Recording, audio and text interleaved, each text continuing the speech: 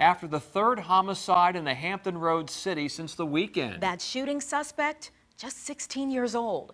They have his name and his picture, but they don't have him behind bars yet.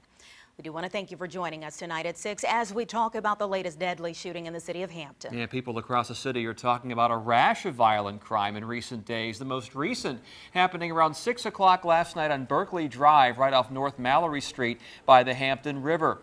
A 20-year-old woman was killed, and now police are looking for a 16-year-old.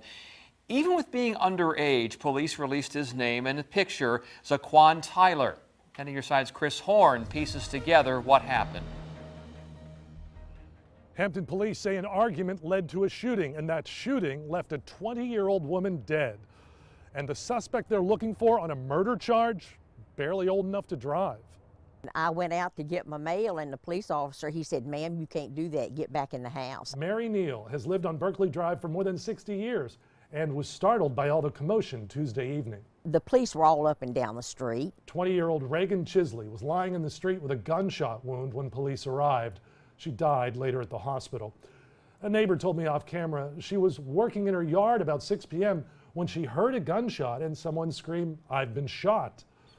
Police then were involved in a barricade situation involving this house. SWAT arrived. I guess there were six or eight of them over there. And uh, then two of them set up over here on my porch. But a man saying he was the father of one of the residents said SWAT fired tear gas through the front window, and police say no one was inside the home. Police have identified the suspect as 16 year old Zaquan Tyler, who remained at large Wednesday afternoon.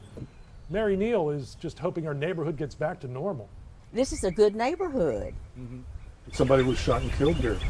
I know. I know, and I, I couldn't believe that a 20 year old girl. Again, Hampton police are looking for 16 year old Zaquan Tyler in the death of Reagan Chisley.